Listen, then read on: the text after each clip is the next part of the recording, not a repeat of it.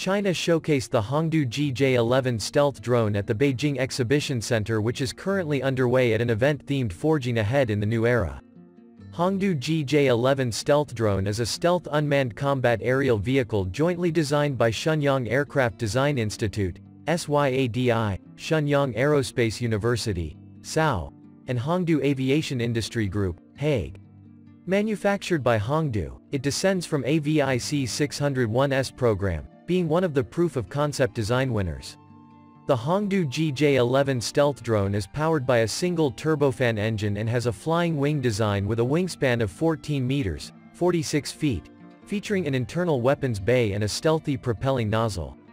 Not only can it fly high and fast, it can also perform missions including offensive air superiority struggles and suppressive air defense operations under high threat and in highly contested environments. But according to observers, armed reconnaissance drones such as the GJ-11, which has a flying wing aerodynamic design and an overhead air inlet design, are not suitable for carrying out air superiority missions. Subsonic speed and low maneuverability will make it difficult for the drone to carry out air superiority missions.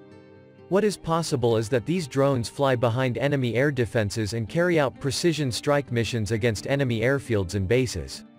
That way, the enemy will give up air superiority because they don't have planes in the air, a military expert in Beijing points out.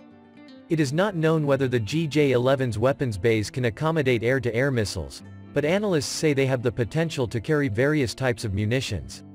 The GJ-11 made its first public appearance at the National Day Military Parade on October 1, 2019 in Beijing. The drone is reportedly capable of taking off autonomously from Type 075 amphibious assault ships. The stealthy drone could deploy swarming air-launched decoys or electronic warfare systems, in addition to launching precision-guided munitions.